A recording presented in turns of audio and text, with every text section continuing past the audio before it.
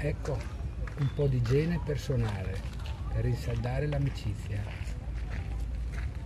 Vero?